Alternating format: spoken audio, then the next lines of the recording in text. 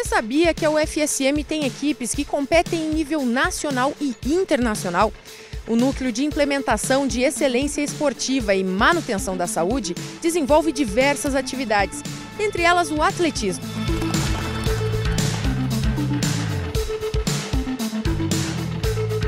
visa oportunizar através do esporte o desenvolvimento das pessoas em todos os âmbitos, né?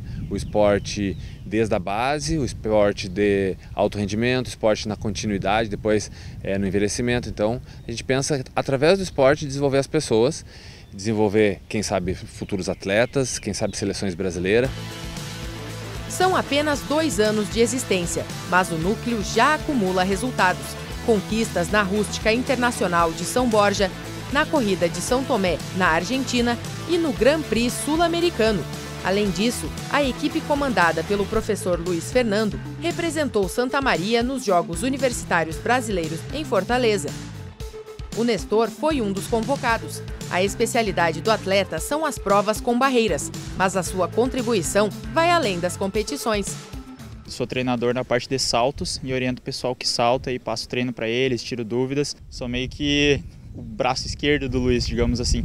Se precisar resolver eventos, a gente corre atrás, monta, teve a despedida da pista esses dias, aí estava envolvida, arbitragem, banners e tudo mais. O ano que eu foi criado o NIEMS foi o ano que eu mais aprendi aqui dentro, porque foi o ano que eu realmente comecei a entender alguns princípios de treinamento que eu não tinha onde aplicar anteriormente a gente consegue ter um espaço ímpar na formação dos nossos acadêmicos. Na área de pesquisa, a gente vem desenvolvendo tanto trabalhos de final de curso, como trabalhos de mestrado, como também outros artigos científicos é, buscando a evolução da ciência por trás do esporte.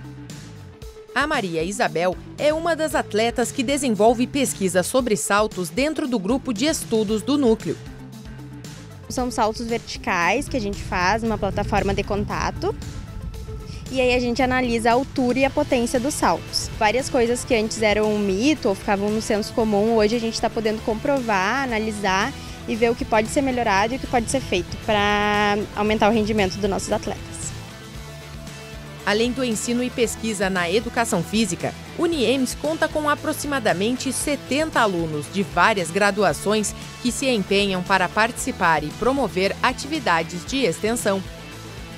A gente pensa que a extensão é o nosso grande forte, a gente pode fazer o bem à comunidade, a gente pode sair de dentro da universidade, a gente pode abarcar, oferecer à universidade é, o conhecimento para a comunidade. O atletismo é o carro-chefe, mas o grupo também desenvolve handebol, vôlei, futsal, canoagem, tênis de mesa e polo. Mais de 500 pessoas de Santa Maria e região são beneficiadas pelo projeto.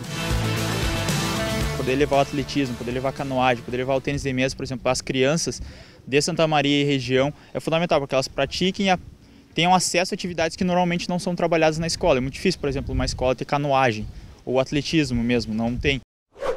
A maioria dos treinamentos acontece nesta pista. Ela existe há quase 50 anos e deve passar por melhorias que vão qualificar a estrutura e melhorar o rendimento dos atletas. Essa nossa pista aqui que, que é de carvão, com seis raias, com várias questões ultrapassadas, com, com ausência de material apropriado para muitas práticas, em especial poderia falar o salto com vara, vai ser toda substituída por uma pista de altíssimo padrão que vai poder oferecer é, o treinamento em qualquer condição climática, que vai poder, poder oferecer competições em diferentes níveis, vai sem dúvida é, fomentar e ampliar as ações esportivas em todos os esportes é, da nossa região. A gente pensa o esporte como um formador de pessoas, né? A gente pensa que não só estamos lá para formar atletas, isso talvez seja o nosso último objetivo. E que talvez o esporte, para muitos, seja aquele cavalo encilhado, seja uma oportunidade de vida que vai favorecer é, o seu desenvolvimento pessoal, da sua comunidade, da sua família. Então, essa é a nossa ideia por trás do, do, nosso trabalho. Normalmente a literatura traz alguma coisa muito mais específica de atletas olímpicos, que é uma realidade que a gente não tem aqui. Então a gente tem que adaptar e foi graças ao núcleo que eu consegui. Fora tudo mais, por exemplo, desenvolvimento frente às câmeras, dando entrevistas, conversando. Então, contato com outras pessoas além da parte teórica é fundamental. Acho que sem o NIEMS minha formação seria incompleta. Quem vai estar assistindo, que podem vir para a pista, que a gente vai acolher, que todo mundo pode treinar, não precisa ser um grande atleta, pode só vir por saúde mesmo ou para conhecer e a gente vai estar de portas abertas.